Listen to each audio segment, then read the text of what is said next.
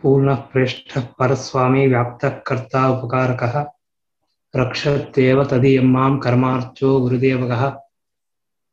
ಆಪಾದಮೌಜುಪರ್ಯಂತಂ ಗುರುಣಾಂ ಆಕೃತಿಂ ಸ್ಮರೆಯತ್ ತೇನ ವಿಘ್ನಾಃ ಪ್ರಣಶ್ಯಂತಿ ಸಿದ್ಧ್ಯಂತಿ ಚ ಮನೋರಥಾಃ. ಶ್ರೀ ಗುರುಭ್ಯೋ ನಮಃ ಶ್ರೀ ಗುರುಭ್ಯೋ ನಮಃ ಶ್ರೀ ಗುರುಭ್ಯೋ ನಮಃ. ಶ್ರೀಮದಾಚಾರ್ಯರು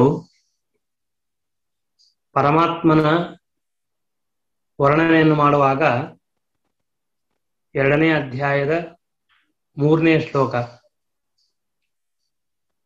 ಅಲ್ಲಿ ಹೇಳುವ ಮಾತು, ಭಗವಂತ ಈ ಜಗತ್ತಿನ ಸೃಷ್ಟಿ, ಸ್ಥಿತಿ, ಲಯಗಳಿಗೆ ಕಾರಣನಾಗಿದ್ದಾನೆ. ಚಿದಚಿತ್ ಭೇದಂ ಅಖಿಲಂ ವಿಧಾಯ ಆದಾಯ ಭುಂಜತೆ. ಪರಮಾತ್ಮ ಈ ಜಗತ್ತಿನಲ್ಲಿರತಕ್ಕಂತಹ ಚೇತನ ಅಚೇತನ ರೂಪವಾಗಿರ್ತಕ್ಕಂತಹ ಭೇದದಿಂದ ಕೂಡಿದ ಯಾವ ಈ ಜಗತ್ತಿದೆಯೋ ಈ ಜಗತ್ತನ್ನು ವಿಧಾಯ ಸೃಷ್ಟಿ ಮಾಡಿ. ಆದಾಯ ಅಂದ್ರೆ ಆ ಜಗತ್ತನ್ನ ಚೆನ್ನಾಗಿ ಸಂರಕ್ಷಣೆ ಮಾಡಿ. ಆಮೇಲೆ ಭುಂಜತೆ ಆಯಾ ಪದಾರ್ಥಗಳನ್ನು ನಾಶ ಮಾಡುವ ಕಾಲ ಬಂದಾಗ ಆ ಪದಾರ್ಥಗಳ ನಾಶವನ್ನೂ ಮಾಡುತ್ತಾನೆ ಪರಮಾತ್ಮ. ಭಗವಂತನಿಗೆ ಯಾವ ಪದಾರ್ಥಗಳ ಮೇಲೂ ಕೂಡ ಅಭಿಮಾನ ಇಲ್ಲ ದೇವರಿಗೆ. ಯಾರ ಮೇಲೂ ಅಭಿಮಾನ ಇಲ್ಲ. ಯಾವ ಯಾವ ಪದಾರ್ಥಗಳ ಮೇಲೆ ಅಭಿಮಾನ ಇಲ್ಲ. ಸೃಷ್ಟಿ ಮಾಡ್ತಾನೆ. ಹಾಗೆ ಅದರಂತೆ ಅದನ್ನ ಸ್ಥಿತಿ ಮಾಡ್ತಾನೆ. ಮತ್ತು ಅವುಗಳ ನಾಶವನ್ನು ಮಾಡ್ತಾನೆ. ಆದರೆ ಈ ಮೂರೂ ವಿಧವಾಗಿರ್ತಕ್ಕಂತಹ ಏನು ಕಾರ್ಯಗಳಿದೆ. ಈ ಒಂದೊಂದು ಕಾರ್ಯಗಳು ಕೂಡ ಬಹಳ ಆಶ್ಚರ್ಯಕರವಾಗಿರ್ತಕ್ಕಂತಹದ್ದು, ಅದ್ಭುತವಾಗಿರ್ತಕ್ಕಂತಹದ್ದು. ಅದನ್ನ ತಿಳಿದುಕೊಳ್ಳೋದು ನಮಗೆ ತುಂಬಾ ಅಸಾಧ್ಯವಾಗಿರ್ತಕ್ಕಂತಹದ್ದು. ಯಾಕೆ ಅಂದ್ರೆ ಜಗತ್ತಿನಲ್ಲಿರ್ತಕ್ಕಂತಹ ಸೃಷ್ಟಿ ಒಂದರಂತೆ ಒಂದಿಲ್ಲ. ಒಂದು ಸೃಷ್ಟಿಯನ್ನು ಪೂರ್ಣವಾಗಿ ತಿಳಿಯಲಿಕ್ಕೆ ಆಗೋದಿಲ್ಲ. ಹಾಗೂ ಆ ಸೃಷ್ಟಿಯ ಜೊತೆಗೆ ಸ್ಥಿತಿಯನ್ನು ಹೇಗೆ ಮಾಡ್ತಾನೆ ಪರಮಾತ್ಮ ಅದು ಗೊತ್ತಿಲ್ಲ. ಸಂಹಾರ ಹೇಗಾಗತ್ತೆ ಅದು ಇನ್ನೂ ಗೊತ್ತಿಲ್ಲ. ಯಾವುದು ಗೊತ್ತಾಗೋದಿಲ್ಲ. ಒಂದೊಂದು ಪರಮಾತ್ಮನ ಅತಿ ವಿಚಿತ್ರವಾಗಿರ್ತಕ್ಕಂತಹ ಮಹಾತ್ಮವನ್ನು ಹೇಳ್ಕೊಡ್ತದೆ. ಯಾರನ್ನ ಯಾವ ರೀತಿಯ ರಕ್ಷಣೆ ಮಾಡ್ತಾನೆ, ಯಾರನ್ನ ಯಾವ ರೀತಿಯ ಸಂಹಾರ ಮಾಡ್ತಾನೆ. ಯಾವುದು ತಿಳಿ ಸಾಧ್ಯ ಇಲ್ಲ. ಕ್ವಚಿದಪ್ಯಮೃತಂ ವಿಷಂ ಭವೇತ್ ಅಮೃತಂ ವಾ ವಿಷಮೀಶ್ವರೇಚ್ಛಯ ಕೆಲವು ಸಲ ಅಮೃತವೂ ವಿಷವಾಗುತ್ತದೆ, ವಿಷವೂ ಅಮೃತವಾಗುತ್ತದೆ। ಭಗವಂತನ ಇಚ್ಛಾ ಇದ್ರೆ ಯಾವ್ದು ಏನಾಗತ್ತೆ ಅಂತ ಹೇಳಿ ಸಾಧ್ಯ ಇಲ್ಲ. ನಾವು ಒಬ್ಬ ವ್ಯಕ್ತಿಯನ್ನು ನೋಡ್ತೀವಿ, ಇವನ್ ಬಹಳ ತೊಂದರೆ ಕೊಡ್ತಾ ಅನ್ಕೋತೀವ ಏನು ಮಾಡಂಗೇ ಇಲ್ಲ. ಬಹಳ ಪ್ರೀತಿಯಿಂದ ಮಾಡ್ತೀವಿ ಇನ್ನೊಬ್ಬ ವ್ಯಕ್ತಿ ಬಹಳ ಪ್ರೀತಿ ಮಾಡ್ತಾನೆ, ಆದರ ಮಾಡ್ತಾನೆ ಅಂತ ತಿಳ್ಕೊಂಡಿರ್ತೀವ ಏನ್ ಮಾಡೋದೇ ಇಲ್ಲ. ಈ ವ್ಯಕ್ತಿ ನನಗೆ ಬಹಳ ಉಪಕಾರ ಮಾಡ್ತಾನೆ, ಭಯಂಕರ ನನಗೆ ಸಹಕಾರ ಮಾಡ್ತಾನೆ, ಬಹಳಷ್ಟು ಅದು ಮಾಡ್ತಾನೆ ಅನ್ಕೋತೀವಿ. ಅವನು ನೋಡೋದೇ ಇಲ್ಲ. ಯಾರು ಗೊತ್ತೇ ಇರೋದಿಲ್ಲ, ಆ ವ್ಯಕ್ತಿ ಬಂದು ಬಹಳ ಸಹಕಾರ ಮಾಡ್ತಾನೆ, ಅನುಕೂಲ ಮಾಡ್ಕೊಡ್ತಾನೆ. ಇದೆಲ್ಲ ಭಗವಂತನ ಸಂಕಲ್ಪ. ಯಾರೂ ಕೂಡ ಮನುಷ್ಯರು ನನ್ನಿಂದ ಈ ಕಾರ್ಯ ಆಗತ್ತೆ ಅಂತ ಯಾವತ್ತೂ ತಿಳಿಯಬಾರದು. ಎಚ್ಚರ ಮೇಲಿಂದ ಮೇಲೆ ಬರಬೇಕು, ಮೇಲಿಂದ ಮೇಲೆ ಬರಬೇಕು. ಮನುಷ್ಯನಿಗೆ ಒಂದೇ ಕ್ಷಣಕ್ಕೆ ಎಲ್ಲ ಮರೆತು ಹೋಗ್ಬಿಡುತ್ತೆ. ಎಷ್ಟೇ ಭಗವಂತನ ಮಹಾತ್ಮ್ಯ ಜ್ಞಾನ ಇದ್ದರೂ, ಎಷ್ಟೇ ಭಗವಂತನ ಕರ್ತೃತ್ವಾನುಸಂಧಾನವಿದ್ದರೂ ಹೊರಗಿರುವ ಯಾವ ಪದಾರ್ಥಗಳಲ್ಲಿಯೂ ಆ ಭಗವಂತ ಮಹಾತ್ಮ ಕಾಣಿಸೋದಿಲ್ಲ, ಯಾರು ಮಾತಾಡೋದಿಲ್ಲ, ಶಾಸ್ತ್ರ ಬಿಟ್ಟು ಬೇರೆ ಯಾರು ಹೇಳೋದಿಲ್ಲ ಅಂದಮೇಲೆ ಎಲ್ಲಿ ಭಗವಂತ ತೋರ್ಲಿಕ್ಕೆ ಸಾಧ್ಯ? ಕೇವಲ ಭಾಗವತನೋ ಅಥವಾ ಬೇರೆ ಮಹಾಭಾರತನೋ ಇಲ್ಲ ಈ ರೀತಿಯಾದ ಶಾಸ್ತ್ರಗಳ ಮಾತು ಕೇಳುವಾಗ ಮಾತ್ರ ನಮಗೆ ಭಗವಂತನ ಚಿಂತನೆ ಬರಲು ಸಾಧ್ಯ, ಭಗವಂತನ ಮಹಾತ್ಮ್ಯ ಒಳಗೆ ಹೋಗಲಿ ಸಾಧ್ಯ. ನಾವು ಬೆಳಗಿನಿಂದ ಸಾಯಂಕಾಲದವರೆಗೆ ಟ್ವೆಂಟಿ ಫೋರ್ ಅವರ್ಸ್ ನಾವು ಪ್ರತಿನಿತ್ಯ ಬದುಕ್ತಾ ಇದ್ದೇವೆ. ಅದರಲ್ಲಿ ಮಿನಿಮಮ್ ಹತ್ತು ಹನ್ನೆರಡು ತಾಸು, ಹದಿನಾಲ್ಕು ತಾಸು ನಮ್ಮ ಇಂದ್ರಿಯಗಳಿಂದ ಅನೇಕ ಪದಾರ್ಥಗಳನ್ನು ನಾವು ನೋಡ್ತೇವೆ, ಕೇಳ್ತೇವೆ, ತಿಂತೇವೆ, ವ್ಯವಹಾರ ಮಾಡ್ತೇವೆ, ಏನೇನೋ ಮಾಡ್ತೇವೆ. ಈ ಯಾವ ಪದಾರ್ಥಗಳ ಜೊತೆಗೆ ವ್ಯವಹಾರ ಮಾಡುವಾಗಲೂ ನಮ್ಮ ಎಲ್ಲಿಯಾದರೂ ಒಂದು ಕಡೆಗೆ ದೇವರ ಚಿಂತನ, ದೇವರ ಸ್ಮರಣೆ ಅಥವಾ ಭಗವಂತನ ಭಕ್ತಿ ಬರುವಂತಹ ಒಂದು ವ್ಯಾಪಾರ ಎಲ್ಲಿಯಾದರೂ ಒಂದು ಕಡೆಗೆ ನಮಗೆ ಕಾಣಿಸ್ತದನ? ಬಹಳ ಕಡಿಮೆ. ಸಹಜವಾಗಿ ಹೇಳೋದನ್ನ ತುಂಬಾ ಕಷ್ಟ. ಅಂದ್ರೆ ನಾವು ನಮ್ಮ ಮನಸ್ಸಿನಲ್ಲಿ ಎಲ್ಲ ಪದಾರ್ಥಗಳನ್ನ ನಾವು ತುಂಬ್ಕೋತೇವೆ. ಯಾವ ಪದಾರ್ಥಗಳನ್ನ ನಾವು ತುಂಬಿಕೊಳ್ತಾ ಇದ್ದೀವಿ ಅಂತಂದ್ರೆ ಯಾವ್ದು ನಮಗೆ ಏನೂ ಉಪಯೋಗವಿಲ್ಲ. ಆ ಎಲ್ಲ ಪದಾರ್ಥಗಳನ್ನ ತುಂಬಿ ತುಂಬಿ ತುಂಬಿ ತುಂಬಿ ಇಟ್ಟಿದ್ದೇವೆ. ಹೀಗಾಗಿ ಈ ಶಾಸ್ತ್ರಗಳ ವಿಷಯಗಳು ಭಗವಂತನ ಮಹಾತ್ಮ್ಯ ಬೇರೆ ವಿಷಯ ಒಳಗೆ ಹೋದೇ ಇಲ್ಲ. ಬೇರೆದೆಲ್ಲ ದೂರ ಮಾಡಬೇಕು. ಹಾಗಿದ್ರೆ ಮಾತ್ರ ಈ ಪದಾರ್ಥ ಒಳಗೆ ಸಾಧ್ಯ. ಅದಕ್ಕೇನು ನಮ್ಮ ಶಾಸ್ತ್ರಗಳು ಏನ್ ಹೇಳ್ತಾರೆ ಅಂತಂದ್ರೆ ವಿರಕ್ತಾನಾಮೇವ ಜ್ಞಾನಂ ಅಂತ ಹೇಳ್ತಾರೆ. ಸ್ವಲ್ಪ ಆದ್ರೂ ವೈರಾಗ್ಯ ಬೇಕು ಬಹಳ ಬೇಡ. ನಮಗೆ ಮಹಾಜ್ಞಾನಿಗಳು, ತಪಸ್ವಿಗಳು, ಸಿದ್ಧ ಪುರುಷರು ಅಷ್ಟೆಲ್ಲ ನಮಗೆ ವೈರಾಗ್ಯ ಬೇಡ. ಆದ್ರೆ ಸ್ವಲ್ಪ ಒಂದು ಅಂಶದಲ್ಲಿ ವೈರಾಗ್ಯ ಇದ್ದರೆ ಮಾತ್ರ ನಿಮಗೆ ಈ ಭಗವಂತನ ತತ್ವ ಅಂತ ಹೇಳಿ ಸಾಧ್ಯ. ಇಲ್ಲದ್ರೆ ಸಾಧ್ಯನೇ ಇಲ್ಲ. ನಮ್ಮ ಮನಸ್ಸಿಗೆ ಇಂಟ್ರೆಸ್ಟೇ ಬರೋದಿಲ್ಲ. ಹೀಗಾಗಿ ಆದಷ್ಟು ನಮ್ಮ ಮನಸ್ಸಿನಲ್ಲಿ ಈ ಜಗತ್ತನ್ನು ನೋಡ್ತಾ ಇರುವಾಗ, ಅನುಭವಿಸ್ತಾ ಇರುವಾಗ ಬೇಡಾದ ವಿಷಯಗಳನ್ನ ಮನಸ್ಸಿನಲ್ಲಿ ತುಂಬಿಕೊಳ್ಳಬಾರದು. ನಮ್ಮ ಮನಸ್ಸಿನಲ್ಲಿ ಬೇಡಾದ ವಿಷಯಗಳನ್ನ ನಮಗೆ ಬೇಕಾದ ವಿಷಯಗಳನ್ನೇ ತುಂಬ್ಕೋಬೇಕು ಹೊರತಾಗಿ ಬೇಡಾದದ್ದನ್ನ ಆದಷ್ಟು ದೂರ ಇಟ್ಬಿಡ್ಬೇಕು. ಅವಾಗ ಏನಾಗುತ್ತೆ ಅಂದ್ರೆ ಮಾನಸಿಕವಾದ ಸಮಾಧಾನವೂ ಇರ್ತದೆ. ನಮ್ಮ ಹೆಂಡತಿ, ಮಕ್ಕಳು, ನಮ್ಮ ವ್ಯವಹಾರ, ಎಲ್ಲೇನು ವ್ಯವಹಾರ ಮಾಡ್ರಿ. ಎಲ್ಲಿ? ಚೆನ್ನಾಗಿರ್ತದೆ ವ್ಯವಹಾರ. ಅಲ್ಲಿ ಏನು ತೊಂದರೆ ಆಗೋದಿಲ್ಲ. ಯಾಕೆ ಅಂತಂದ್ರೆ ಯಾಕೆ ಅಂತಂದ್ರೆ ನಾವು ನಮ್ಮ ಮನಸ್ಸಿನಲ್ಲಿ ಯಾವುದೇ ತರಹದ ಭಾವನೆಯನ್ನು ಹೊಂದಿಲ್ಲ. ತುಂಬಾ ಕಷ್ಟ ಅದು. ನಮ್ಮ ಮಾತನ್ನ ಒಬ್ಬ ವ್ಯಕ್ತಿ ಕೇಳದೆ ಇದ್ರೆ ನಮ್ಗೆ ಅಸಮಾಧಾನವಾಗ್ತದೆ. ಅಸಮಾಧಾನ ಮಾಡ್ಕೊಳ್ಬಾರದು. ಹೆಂಗ್ ಸಾಧ್ಯ? ಪ್ರಾಕ್ಟೀಸ್ ಮಾಡ್ಬೇಕು. ಎಲ್ಲದಕ್ಕೂ. ಯಾಕೆಂದ್ರೆ ಭಗವಂತನ ಮಹಾತ್ಮ ನೋಡ್ಲಿಕ್ಕೆ ಜಗತ್ತಿದೆ ಮೇಲಿಂದ ಮೇಲೆ ಶ್ರೀನಿವಾಸ ನೆನಪು ಮಾಡ್ತಾರೆ. ಮೇಲಿಂದ ಮೇಲೆ ನೆನಪು ಮಾಡ್ತಾರೆ. ಮಧ್ವಾಚಾರ್ಯರು ಈ ತತ್ವವನ್ನು ಬಹಳ ತುಂಬಾ ಚೆನ್ನಾಗಿ ಹೇಳ್ತಾರೆ. ಚಿದ ಚಿದ್ಭೇದ ಅಖಿಲಂ ವಿಧಾಯ ಆದಾಯ ಭುಂಜತೆ. ಪರಮಾತ್ಮ ಎಲ್ಲವೂ ನಾಶ ಮಾಡ್ತಾನೆ. ಭಗವಂತ ಎಲ್ಲಿದ್ದಾನೆ?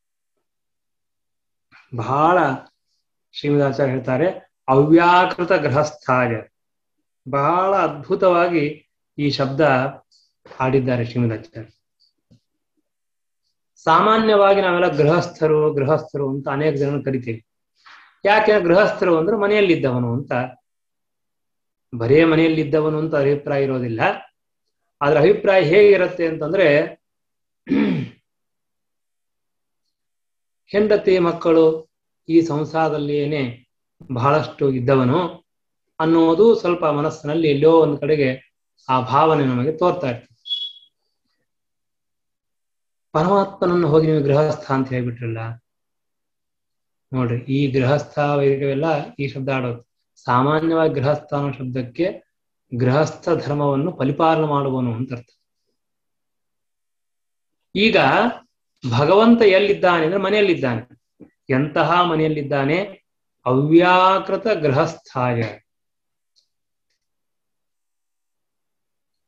ನಾವು ಮಾಡಿದ ದೇವರ ಮನೆಯಲ್ಲಿ ಭಗವಂತನಿದ್ದಾನೆ. ನಮ್ಮ ಮನಸ್ಸಿನಲ್ಲಿ ಭಗವಂತ ಇದ್ದಾನೆ. ಹೃದಯದಲ್ಲಿ ಭಗವಂತ ಇದ್ದಾನೆ. ಪರಮಾತ್ಮ ಸಮಸ್ತವಾದ ಬ್ರಹ್ಮಾಂಡದಲ್ಲಿದ್ದಾನೆ. ಬ್ರಹ್ಮಾಂಡದ ಹೊರಗಿದ್ದಾನೆ. ಅವ್ಯಾಕೃತವಾದ ಆಕಾಶ ಅಂತ ಕರೀತಾರೆ. ವ್ಯಾಕೃತ ಅಂದ್ರೆ ವಿಕಾರ ಹೊಂದುವ ಪದಾರ್ಥ ಅಂತ ಅರ್ಥ. ಅವ್ಯಾಕೃತ ಅಂದ್ರೆ ವಿಕಾರ ಹೊಂದದೇ ಇರುವ ಪದಾರ್ಥ ಅಂತ ಅರ್ಥ. ಭಗವಂತನ ಮನೆ, ಗೃಹ ಅಂದ್ರೆ ಮನೆ. ಭಗವಂತನ ಮನೆ ಎಂಥದ್ದು ಅಂತ ಕೇಳಿದ್ರೆ ಅವ್ಯಾಕೃತ. ಅವ್ಯಾಕೃತ ಅಂದ್ರೆ ಎಂದೂ ನಾಶವಾಗುವುದಿಲ್ಲ. ಪರಮಾತ್ಮನ ಮನೆ ಎಂದೂ ನಾಶವಾಗುವುದಿಲ್ಲ. ಅಂಥದ್ದು ಭಗವಂತನ ಮನೆಯಾಗಿದೆ. ನಾವೆಲ್ಲ ಕಟ್ಟುವ ಮನೆ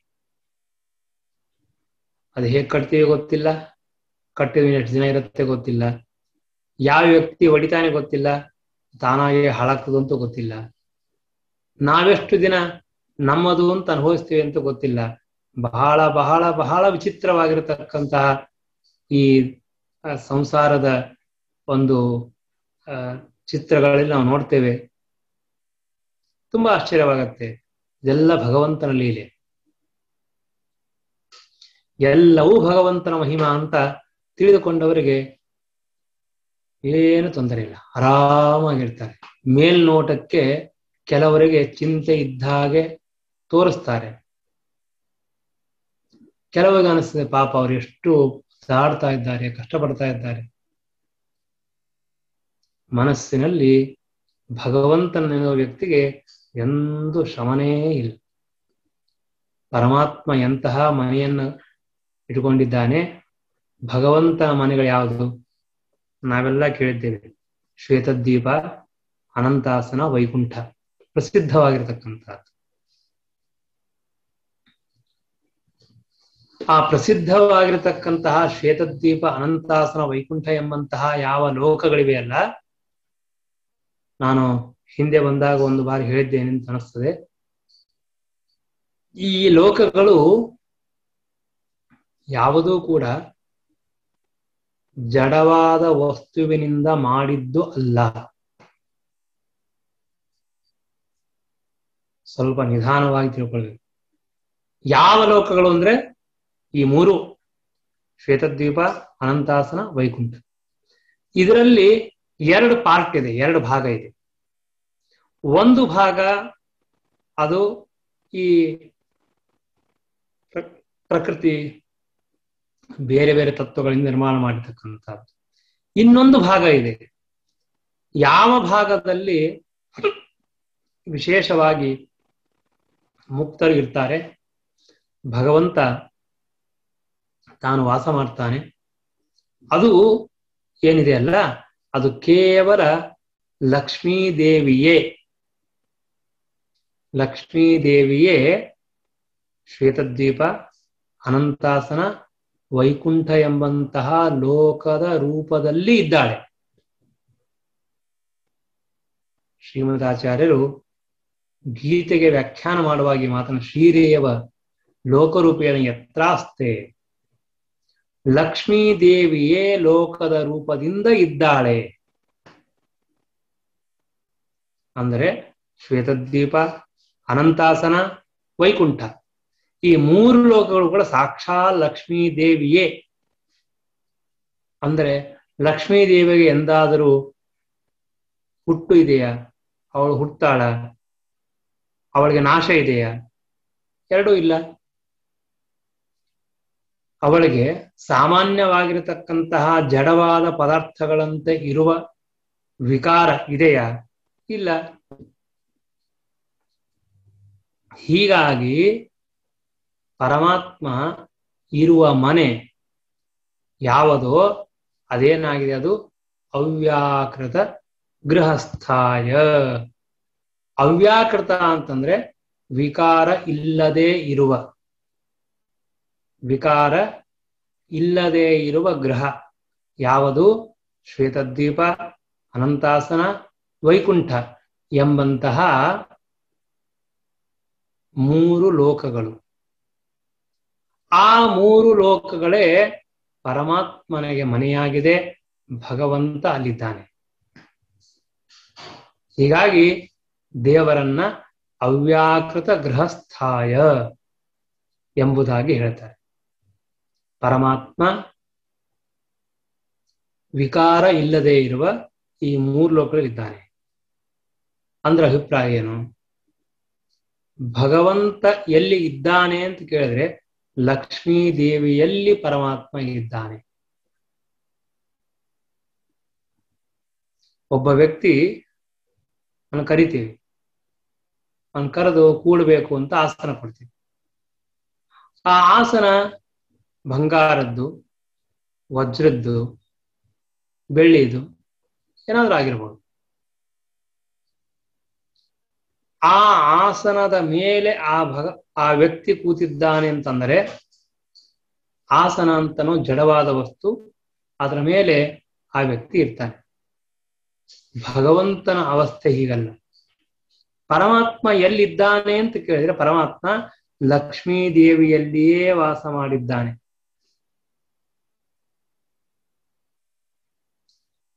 ನಾವು ಎಷ್ಟೋ ಹಾಡುಗಳು ಕೇಳ್ತೇವೆ.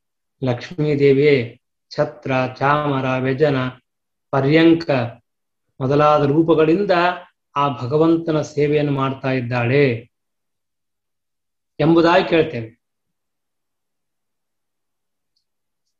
ಹೀಗಾಗಿ ಭಗವಂತನ ಆಶ್ರಯ ಸ್ಥಾನ ಮನೆ ಯಾವುದು? ಲಕ್ಷ್ಮೀದೇವಿ ಆ ಲಕ್ಷ್ಮೀದೇವಿ ನಿತ್ಯಳಾಗಿದ್ದಾಳೆ. ಆ ಲಕ್ಷ್ಮೀದೇವಿಗೆ ಸರ್ವಥಾ ವಿಕಾರವೇ ಇಲ್ಲ. ಸರ್ವಥಾ ವಿಕಾರವಿಲ್ಲದ ಲಕ್ಷ್ಮೀದೇವಿಯಲ್ಲಿ ಆ ಭಗವಂತ ತಾನು ವಾಸವಾಗಿದ್ದಾನೆ. ಆದ್ದರಿಂದ ಭಗವಂತನಿಗೆ ಅವ್ಯಾಕೃತ ಗೃಹಸ್ಥಾಯ ಎಂಬುದಾಗಿ ಹೇಳ್ತಾರೆ. ಗೃಹಸ್ಥ ಅಂತ ಹೇಳಿದಾಗ ಸಾಮಾನ್ಯವಾಗಿ ಹೆಂಡತಿ, ಮಕ್ಕಳು, ಮೊಮ್ಮಕ್ಕಳು, ಮರಿಮಕ್ಕಳು ಎಲ್ಲರೂ ಇದ್ದರೆ ಅದೊಂದು ವಿಶೇಷ ಅಂತ ನಾವು ಹೇಳ್ತೀವಿ. ಹಾಗೆ ಇವಾಗ ಭಗವಂತನಿಗೆ ಎಷ್ಟು ದೊಡ್ಡ ಪರಿವಾರ ಇದೆ. ಲಕ್ಷ್ಮೀದೇವಿ ಬ್ರಹ್ಮದೇವರು, ಸರಸ್ವತಿ, ವಾಯುಭಾರತಿ, ಗರುಡಶೇಷ ರುದ್ರರು, ಅವರ ಪತ್ನಿಯರು, ಅವರ ಮಕ್ಕಳು, ಅವರ ಮೊಮ್ಮಕ್ಕಳು. ಇಡೀ ಬ್ರಹ್ಮಾಂಡ ಅವನ ಮನೆ. ಅದಕ್ಕಾಗಿ ನೀವು ಬ್ರಹ್ಮಾಂಡವನ್ನು ತೆಗೆದುಕೊಳ್ಬಾರ್ದು ಯಾಕಂದ್ರೆ ಅವ್ಯಾಕೃತ ಆಗೋದಿಲ್ಲ ಅದು. ಇಲ್ಲಿ ನಾನು ಗೃಹಸ್ಥ ಅನ್ನುವ ಶಬ್ದದಿಂದ ಹೇಳ್ತಾ ಇದ್ದೆ. ಇಡೀ ಸಮಗ್ರವಾಗಿರತಕ್ಕಂತಹ ಈ ಬ್ರಹ್ಮಾಂಡದಲ್ಲಿ ವಾಸ ಮಾಡತಕ್ಕಂತಹ ಬ್ರಹ್ಮಾಂಡದಲ್ಲಿ ಇರುವ ಲಕ್ಷ್ಮೀ ದೇವಿಯಲ್ಲಿ ವಾಸ ಮಾಡುವ ಪರಮಾತ್ಮ ದೊಡ್ಡ ಗೃಹಸ್ಥ. ಅವನಷ್ಟು ಕುಟುಂಬ ಪರಿವಾರ ಇನ್ಯಾರೂ ಇಲ್ಲ. ನಾವು ವೆಂಕಟೇಶ್ ಮಹಾತ್ಮಲ್ಲಿ ಕೇಳ್ತೀವಲ್ಲ, ಪರಮಾತ್ಮ, ಆ, ಹೇಳ್ತಾನೆ ಆಕಾಶ್ ರಾಜನ ಮನೆಗೆ ಹೋಗಿ ಪದ್ಮಾವತಿ ಮದುವೆ ಮಾಡ್ಕೊಳ್ಬೇಕು ಅಂತ ತುಂಬಾ ಕಷ್ಟ. ಯಾಕೆ ಅಂದ್ರೆ ನಾನೊಬ್ಬನಿದ್ದೀನಿ ಬಕ್ರಾದಿ ನೀವೊಬ್ಬಳಿದ್ದೀವಿ ಇಬ್ಬರೇ ಇದ್ದೀವಿ.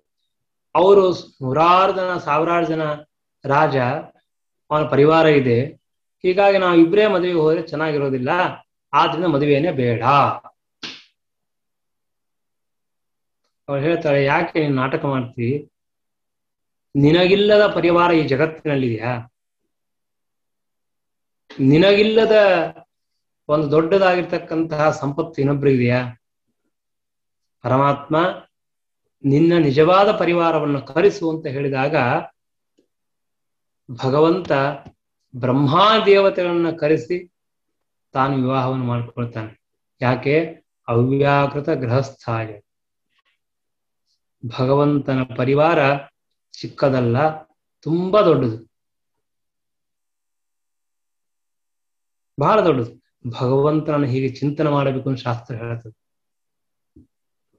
ಭಗವಂತನನ್ನ ಈ ರೀತಿಯಾಗಿ ನಾವು ಉಪಾಸನೆ ಮಾಡಬೇಕು. ಇವತ್ತಿನ ಕಾಲದ ಪರಿವಾರ ನೋಡಿದ್ರೆ ಗಂಡ, ಹೆಂಡತಿ, ಮಕ್ಕಳು ಹಳೆ ಕಾಲಕ್ಕೆಲ್ಲ ದೊಡ್ಡದಾದ ಪರಿವಾರ ಇರ್ತಿತ್ತು. ಇವಾಗ ಪರಿವಾರ ಅಂತ ಶಬ್ದವೇ ಹೋಗ್ಬಿಟ್ಟೆ ಹೀಗಾಗಿ ಅಂತಹ ಒಂದು ವಿಶೇಷವಾದ ಲಾಭವನ್ನು ಪಡೆಯಬೇಕಾದ್ರೆ ಭಗವಂತನ ಆ ರೀತಿಯ ಚಿಂತನೆ ಮಾಡಬೇಕು ಅಂತ ಹೇಳ್ತಾರೆ. ಹೀಗಾಗಿ ಅವ್ಯಾಕೃತ ಗೃಹಸ್ಥಾಯ. ಭಗವಂತ ಎಂತವನು ಅಂತ ಕೇಳಿದ್ರೆ, ಸರ್ವಥಾ ವಿಕಾರ ಇಲ್ಲದೆ ಇರುವ ಲಕ್ಷ್ಮೀದೇವಿ ಎಂಬಂತಹ ಸ್ಥಾನದಲ್ಲಿ ಪರಮಾತ್ಮ ಇದ್ದಾನೆ. ಆ, ಈ ಮೂರು ಲೋಕಗಳು ನಾನು ಹೇಳಿದೆಲ್ಲ ಶ್ವೇತದ್ವೀಪ ಅನಂತ ವೈಕುಂಠ ಎಂದೂ ನಾಶವಾಗುವುದಿಲ್ಲ. ಅದಕ್ಕಾಗಿಯೇನೆ ಪ್ರಳಯ ಕಾಲದಲ್ಲಿ ಎಲ್ಲ ಲೋಕಗಳು ನಾಶವಾಗ್ತವೆ. ಹಾಗಾದ್ರೆ ಈ ಮೂರು ಲೋಕಗಳು ಏನಾಗುತ್ತೆ? ಅಲ್ಲಿ ಹೇಳೋದು ಈ ಮೂರು ಲೋಕಗಳು ಅದೃಶ್ಯವಾಗುತ್ತವೆ ಅಂದ್ರೆ ಕಣ್ಣಿಗೆ ಕಾಣಿಸುವುದಿಲ್ಲ ಅಷ್ಟೇ. ಯಾಕೆ? ಸಾಕ್ಷಾ ಲಕ್ಷ್ಮೀದೇವಿ ತಾನೇ ಆ ಲೋಕಗಳು.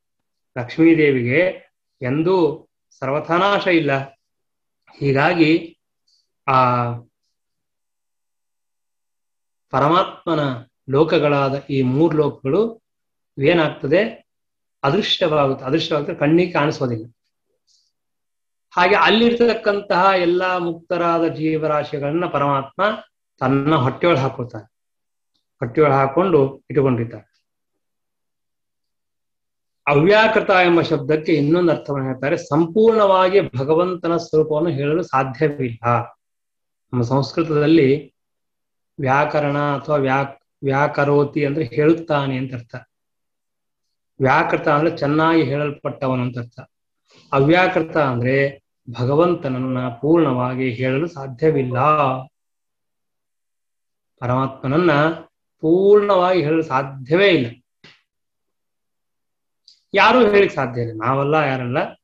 ಅನಂತ ಅನಂತ ಜೀವರಾಶಿಗಳಾಗಲಿ ಅಥವಾ ಅನಂತ ವೇದಗಳಾಗಲಿ, ಬ್ರಹ್ಮದೇವರಾಗಲಿ, ಲಕ್ಷ್ಮೀದೇವಿಯಾಗಲಿ, ಯಾರೂ ಕೂಡ ಭಗವಂತನನ್ನ ಪೂರ್ಣ ಹೇಳಿಕ್ ಸಾಧ್ಯ ಇಲ್ಲ ಭಗವಂತನನ್ನ ಆದ್ರಿಂದ ಪರಮಾತ್ಮನಿಗೆ ಅವ್ಯಾಕೃತ ಅಂತ ಕರೆದಿದ್ದಾರೆ. ಇನ್ನೊಂದು ಅರ್ಥ ಅವ್ಯಾಕೃತ ಅಂದ್ರೆ ಪರಮಾತ್ಮನ ರೂಪಕ್ಕೆ ಯಾವುದೇ ವಿಕಾರವಿಲ್ಲ. ಅವ್ಯಾಕೃತನಾದ ಗೃಹಸ್ಥನಾದ ಪರಮಾತ್ಮ. ಅಂದ್ರೆ ಏನು? ನಮ್ಮ ದೇಹಕ್ಕೆ ವಿಕಾರವಿದೆ, ನಾಶ ಇದೆ, ನಾನಾ ತರಹದ ದುಃಖಗಳು, ಕಷ್ಟಗಳು ಎಲ್ಲ ಇದೆ. ಆದ್ರೆ ಭಗವಂತನಿಗೆ ದೇಹ ಇಂದ್ರಿಯ, ಮನಸ್ಸು ಎಲ್ಲ ಇದೆ. ಆದರೆ ಆ ಯಾವುದಕ್ಕೂ ಸ್ವಲ್ಪವೂ ವಿಕಾರವಿಲ್ಲ. ಹೀಗಾಗಿ ಪರಮಾತ್ಮ ಎಂಥವನು ಅಂತ ಕೇಳಿದ್ರೆ ಅವ್ಯಾಕೃತನಾದ ಗೃಹಸ್ಥ. ಜಗತ್ತಿನಲ್ಲಿರ್ತಕ್ಕಂತಹ ಎಲ್ಲ ಗೃಹಸ್ಥರು ವಿಕಾರವುಳ್ಳವರು. ಬ್ರಹ್ಮದೇವರನ್ನ ಪ್ರಾರಂಭ ಮಾಡಿಕೊಂಡು ಎಲ್ಲರಿಗೂ ವಿಕಾರ ಇದೆ. ಎಲ್ಲರೂ ಹುಡ್ತಾರೆ ನಾಶ ಹೊಂತಾರೆ ಆ ಸುಖ, ದುಃಖ, ಅದು ಇದು ಏನೇನೋ ಇದೆ. ಆದರೆ ಒಬ್ಬ ಗೃಹಸ್ಥ ಮಾತ್ರ ಹೀಗಿದ್ದಾನೆ, ಅವನಿಗೆ ಯಾವ ಯಾವ ವಿಕಾರಗಳು ಇಲ್ಲ, ಯಾವತ್ತೂ ಇಲ್ಲ. ಇವತ್ತು ಅವನು ಸುಖವಾಗಿದ್ದಾನೆ ಇನ್ನಾಲ್ಕು ದಿನ ಮತ್ತೆ ಕಷ್ಟ ಆಗ್ತಾ ಹಾಗಿಲ್ಲೇ ಇಲ್ಲ. ಅವ್ಯಾಕೃತ ಗೃಹಸ್ಥ ಏನು ದೇವರ ಮಹಿಮೆ ಹೇಳ್ತಾರೆ ಶ್ರೀಮಂತ ಒಂದೊಂದು ಶಬ್ದ. ಈ ಶಬ್ದದ ಅರ್ಥವು ನಾನು ಸುಮ್ಮನೆ ಅರ್ಧ ಗಂಟೆ ಇರುತ್ತೆ ಅನ್ನೋದು ಮುಗಿಸ್ಬೇಕು ಅನ್ನೋದು ಸ್ವಲ್ಪ ಸ್ವಲ್ಪ ಹೇಳ್ತೀವಿ. ವಾಸ್ತವಿಕ ವಿಚಾರ ಮಾಡಿದ್ರೆ ಒಂದೊಂದಕ್ಕೂ ಬೇಕಾದಷ್ಟು ವಿಸ್ತಾರವಾಗಿ ಹೇಳಿಕ್ ಸಾಧ್ಯವಿದೆ. ಆದರೂ ನಮ್ಮ ಬುದ್ಧಿಗೆ ನೆಲುಕುವಂತೆ ಆ ಶ್ಲೋಕ ಅಂದಾಗ ಒಂದೆರಡು ಅರ್ಥಗಳು ನಮಗೆ ನೆನಪಾಗಬೇಕು.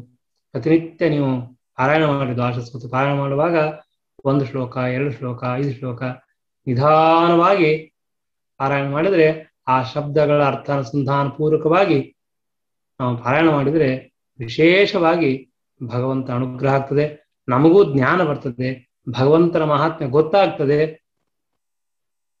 ಅಂತಹ ಅವ್ಯಾಕೃತ ಗ್ರಹಸ್ಥ ಅವ್ಯಾಕೃತ ಗ್ರಹಸ್ಥ ಅಂದ್ರೆ ಯಾವ ವಿಕಾರ ಇಲ್ಲದೆ ಇರುವ ಗ್ರಹಸ್ಥ ನಮಗೆ ಪ್ರತಿ ಕ್ಷಣ, ಪ್ರತಿ ಸೆಕೆಂಡ್ಗೆ ಸಾವಿರ ಸಾವಿರ ವಿಕಾರಗಳು. ಎಷ್ಟು ಟೆನ್ಷನ್ ಅಂತಂದ್ರೆ ಪಾಠ ಕೂತಾಗ ನಮ್ಗೆ ಟೆನ್ಷನ್ ಇರ್ತದೆ. ಎಂಟು, ಮೂವತ್ತಾಗಬೇಕು, ಮೂವತ್ತೆರಡು ಮೂವತ್ತೈದು ಆದ್ರೆ ನಾವು ಮುಗಿಸ್ಬೇಕಿಲ್ಲ ನಡೆಯಂಗಿಲ್ಲ ಅಂತ. ಅಂದ್ರೆ ಒಂದು ಕ್ಷಣವು ಏನೋ ಒಂದು ವಿಚಾರ. ಆದ್ರೆ ಪರಮಾತ್ಮನಿಗೆ ಕಾಲದ ಬಂಧ ಇಲ್ಲ, ದೇಶದ ಬಂಧ ಇಲ್ಲ, ದೇಹದ ಬಂಧ ಇಲ್ಲ, ಇಂದ್ರಿಯಗಳ ಬಂಧ ಇಲ್ಲ, ಜೊತೆಗಿರ್ತಕ್ಕಂತಹ ವ್ಯಕ್ತಿಗಳು ಏನ್ ಹೇಳ್ತಾರೋ ಅಂತ ಅನ್ನಂಗಿಲ್ಲ. ಅವನು ಚಲೋ ಆಯ್ತು ಅಂತಾನೋ, ಕೆಟ್ಟಂತಾನೋ, ಇವನು ಚೆನ್ನಾಗಿ ಕಾಣಿಸ್ತಾನೋ ಇನ್ನೊಬ್ರು ಚೆನ್ನಾಗಿ ಕಾಣಿಸೋದಿಲ್ಲ. ಏನೂ ಇಲ್ಲ ದೇವರಿಗೆ. ಭಗವಂತ ಅವ್ಯಾಕೃತ ಗೃಹಸ್ಥ. ಅಂತಹ ಮಹಾಮಹಿನಾಗಿರ್ತಕ್ಕಂತಹ ಭಗವಂತನಿಗೆ ನಮಸ್ಕಾರಗಳು ಎಂಬುದಾಗಿ ತಿಳಿಸ್ತಾರೆ. ಹರೇ ನಮಃ. ಶ್ರೀಕೃಷ್ಣಾರ್ಪಣ